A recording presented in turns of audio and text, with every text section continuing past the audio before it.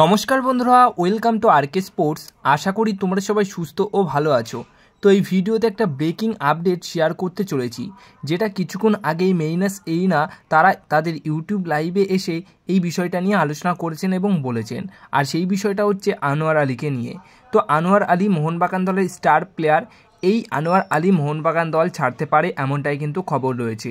মোহনবাগান দল তাকে ছেড়ে দিতে পারে, আর কেনই বা তাকে ছেড়ে দেবে সেই বিষয়টা যদি তোমরা জানো হ্যাঁ বন্ধুরা, মোহনবাগান দলে তিনি গেম টাইম নাও পেতে পারে আগামী মরশুমে। এই কারণটার জন্যই মোহনবাগান দল ছাড়তে পারে এবং তার যে এজেন্ট রয়েছে, সেই এজেন্ট এবং তার মধ্যে এই বিষয়টা নিয়ে আলোচনা চলছে যে, যেহেতু মোহনবাগান দলে দুইজন বিদেশি ডিফেন্ডার আনা হয়েছে, তো তারা যেহেতু ফার্স্ট প্লেইং ইলেভেনের ডিফেন্ডার সবসময় নিয়মিত খেলে থাকবেন, তো তারা খেলায় কি আদেও মোহনবাগান দলে আগামী মরশুমের জন্য আনোয়ার আলীর নিয়মিত জায়গা হবে প্রথম প্লেইং ইলেভেনে বা নিয়মিত তিনি গেম টাইম কি পাবে, এইটাই হচ্ছে বড় একটা কারণ রয়েছে।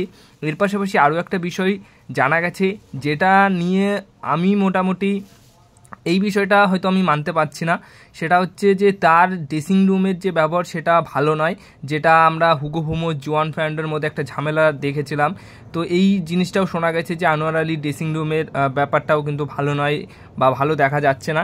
এইটাও কিন্তু একটা কারণ রয়েছে। বাট মেন কারণটা হচ্ছে গেম টাইম গেম টাইমের অভাবে বা গেম টাইম নাও পেতে পারে। এই কারণটার জন্যই মোহনবাগান দল ছাড়তে পারেন এবং মোহনবাগান দলও কিন্তু নিজেদের দলের জন্য, দলের স্বার্থে কোনো রকম কোনো অসুবিধার জন্য যাতে না হয় অসুবিধা, সেটার জন্য কিন্তু মোহনবাগান দল আনোয়ার আলীকে ছেড়ে দিতে পারে। মানে আনোয়ার আলীকে ধরে রাখতে নাও পারে। কেন? সেটা হচ্ছে মানে আনোয়ার আলী নিজে থেকেই যদি মোহনবাগান দলে না থাকতে চায়, তাহলে তাকে রাখবে না এমনটাই কিন্তু খবর রয়েছে। মানে তার ইচ্ছার বিরুদ্ধে কোনো কাজ করতে চাইছে না মোহনবাগান দল। তাই শেষ অবধি যেটুকু আপাতত খবর রয়েছে যে মোহনবাগান দল ছাড়তে পারে আনোয়ার আলী। আর এখানে আর এখানেই শেষ নয়, মোহনবাগান দল কিন্তু আনোয়ার আলীর ব্যাকআপ প্লেয়ারও খোঁজা শুরু করে দিয়েছে। দুইজন প্লেয়ারকে তারা টার্গেট করে রেখেছে। এখনও অবধি সেই দুইজনের মধ্যে কোন প্লেয়ার আসতে পারে সেটা নিয়ে কিন্তু কোনো আপডেট নেই। আগস্ট মাসে পুরোপুরি কনফার্ম হওয়া যাবে যে আনোয়ারের ব্যাকআপ হিসেবে কোন ইন্ডিয়ান প্লেয়ার তার জায়গাটা নিতে পারে বা তার জায়গায় আসতে পারে।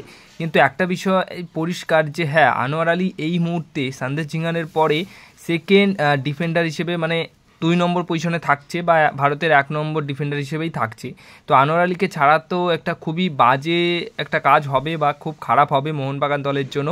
কিন্তু বন্ধুরা, যেখানে টম অ্যালরেড অ্যালবাতো রদ্রিগেসের মতো ডিফেন্ডাররা থাকছে, সেখানে গেম টাইম না পাওয়াটাই কিন্তু স্বাভাবিক। সেখানে গেম টাইম পাবে না, এটুকু তো পুরোপুরি কনফার্ম যে গেম টাইম খুব বেশি পাবে না আমার মনে হয়।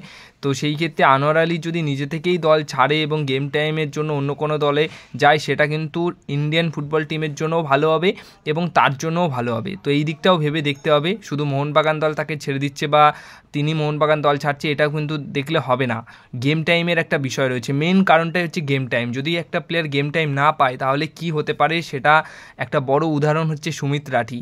নিজে থেকে কিন্তু দল ছাড়তেই পারতো, কিন্তু মোহনবাগান দলের সাথে এতদিন জুড়ে রয়েছে, তাই গেম টাইম পেলেও সেই গেম টাইমের সুযোগ সদ্ব্যবহার করতে পারেনি আজও অবধি এবং গেম টাইম এখন তো ঠিকমতো পাচ্ছেই না।